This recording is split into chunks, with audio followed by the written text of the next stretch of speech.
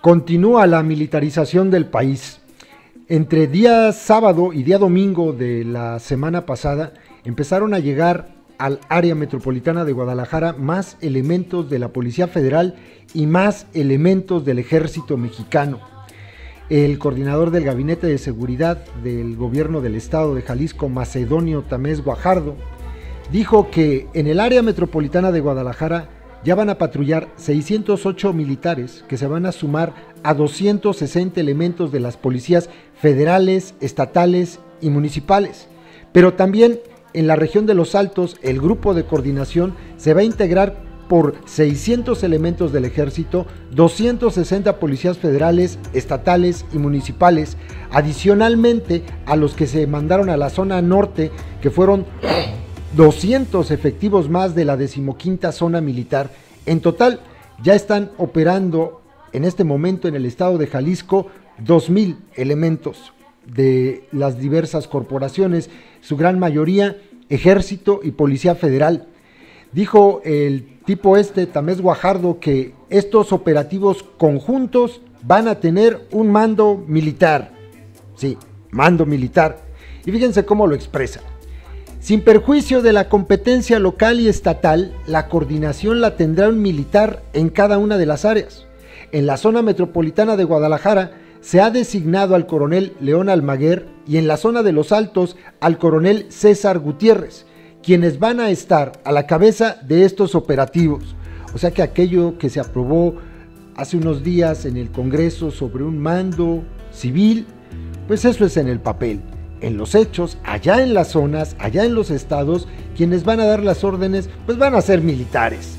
Dijo el tipejo este que se reunió con el comandante de la decimoquinta zona militar, Norberto Cortés Rodríguez, y con Jesús Valencia Guzmán, que es el titular de la Unidad de Políticas Estratégicas para la Construcción de la Paz con entidades federativas y regiones de la Secretaría de Seguridad Pública Federal.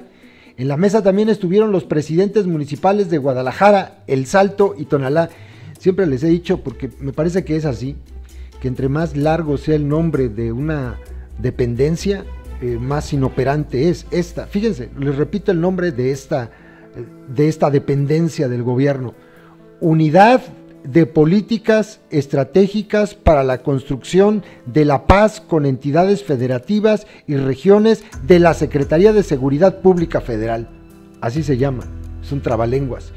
El funcionario dijo que hay coordinación con autoridades estatales y municipales y se refirió a que esta decisión se tomó debido a los altos índices de homicidios que han ocurrido en la misma zona de Guadalajara como en la de los Altos, por esto clasificaron a estas dos regiones del estado de Jalisco como zonas prioritarias.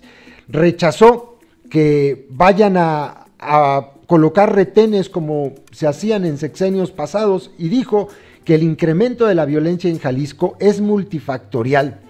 No quiso referirse a los enfrentamientos entre grupos delincuenciales. Es multifactorial, no se puede atribuir a una sola cosa. A mí no me gusta decir que es entre ellos, porque entre ellos pues son mexicanos, son ciudadanos y como autoridades locales, federales y municipales tenemos que actuar en consecuencia. Es lamentable que entre ciudadanos mexicanos ocurran estas cosas, hay que evitarlo de todas formas. También dijo que el índice de homicidios fue lo que se tomó en cuenta entre otros indicadores como los delitos patrimoniales, ilícitos como las lesiones o como el robo los que provocaron que se empezaran a destinar más eh, personal, más elementos del ejército a esta zona. Respecto a los retenes, dijo algo muy interesante. Los retenes no porque son inconstitucionales.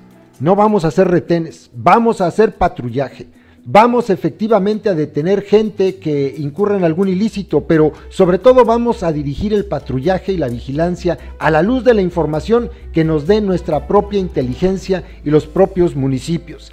Dijo también que esta reunión con las autoridades federales no fue un apretar de tuercas o como un regaño, dijo que se trató la reunión que tuvieron entre las autoridades estatales y municipales con mucho respeto y con coordinación.